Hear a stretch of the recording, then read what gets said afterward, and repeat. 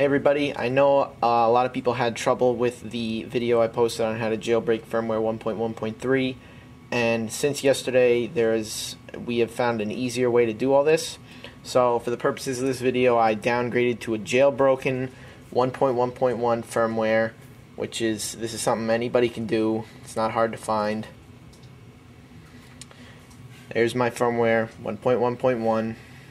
So from this point on what we're going to do after here is we're going to you gonna need to download all the files that'll be provided in the description and from here on we're going to SSH into your iPod. So by now you've hopefully downloaded this jailbreak folder which will be available from a RapidShare in the description of this video and you are also currently SSH'd into your iPod Touch which is running an older jailbroken firmware other than 1.1.3 so go ahead and open up the jailbreak folder. There's another one inside. And inside you'll find the soft upgrade folder. So go ahead and move over to your iPod touch and be in the highest directory you can go. Just hit this up directory button until you can't go any farther and you'll find the private directory. So open that up. Uh, inside is var root takes a while to refresh and media. And I already have a soft upgrade folder in here because I was messing with it earlier but just go over to your computer pick up soft upgrade drag it over and copy. Now for me I'm going to hit copy I'm going to have to hit yes because I already have one. And it's going to continue copying the files. Uh, this is a 300 megabyte file which is pretty large in terms of uh, iPod touch files so it will take a while for it to copy. So maybe a couple minutes. I'm going to pause it and I'm going to restart the video when this is done. Okay so now that you've got that 300 megabyte file uh, uploaded to your iPod you're going to want to boot it back up open up installer. You're going to go to install all packages 1.1.3 soft upgrade and hit install. It's going to download and it'll install.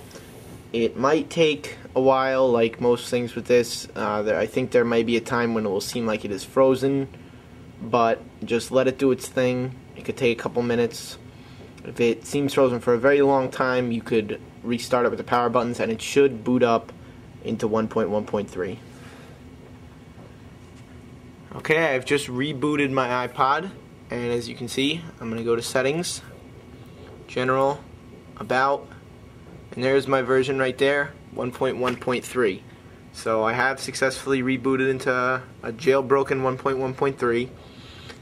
I have installer that app right there, but I do not have any of the iPhone apps the ones that you'd pay $20 for, and I can't jiggle my icons around, which everybody knows is the coolest thing in the world.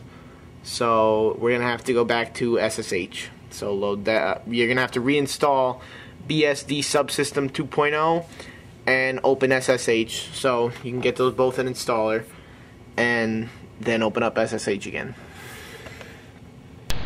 So now that you got BSD Subsystem and OpenSSH installed, and you're back into your FTP program you're going to go to the jailbreak folder and find the file called springboard and then you are going to navigate to your iPod to system library core services springboard.app and you're going to find this file down here which is springboard so you're going to go up back to your iPod pick up the springboard file and copy it over Yes, copy.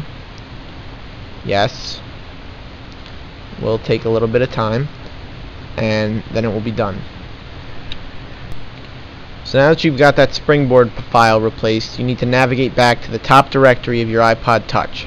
This is where things get a little bit tricky. If you're using WinSCP like I am, go to the top directory and hit Control T.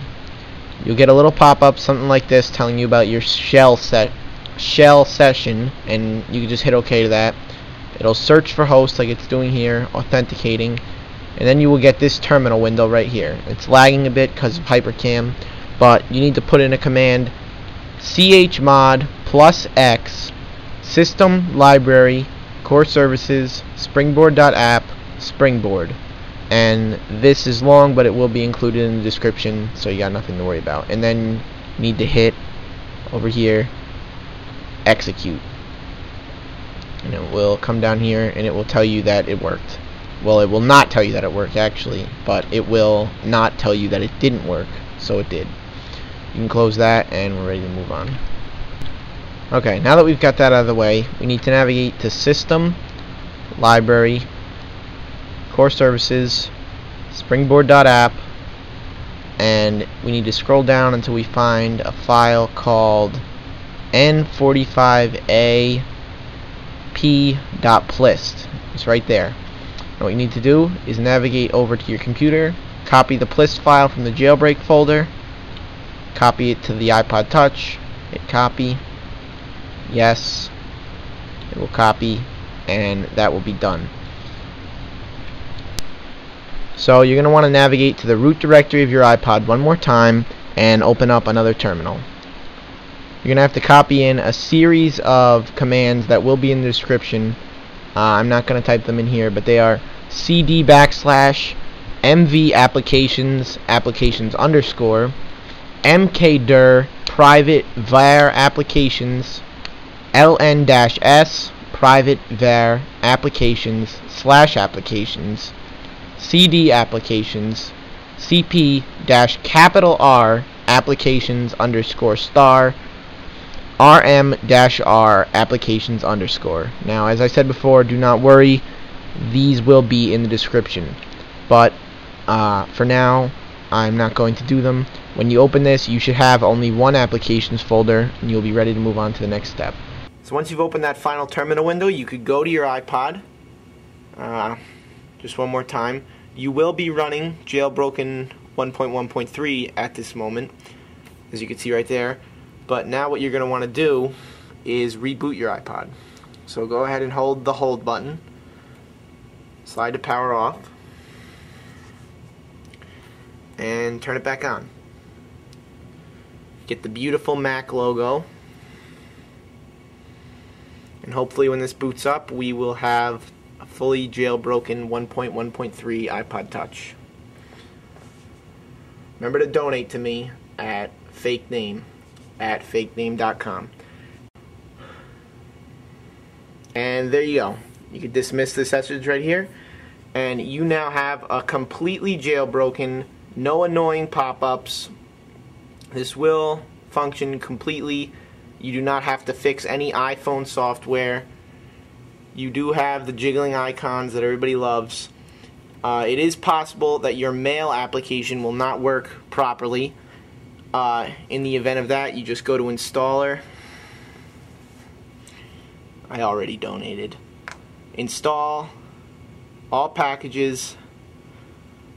Uh, you will find, I already have it, 1.1.3 mail fix is somewhere in there. And, and also, uh, something I recommend downloading is 1.1.3 Soft Upgrade Cleaner, which will remove the 300 megabyte file from your computer, uh, from your iPod Touch, excuse me. Uh, you download it, then you go to uninstall, and you uninstall it. And there you go. You are now running uh, totally functioning 1.1.3 jailbroken iPod.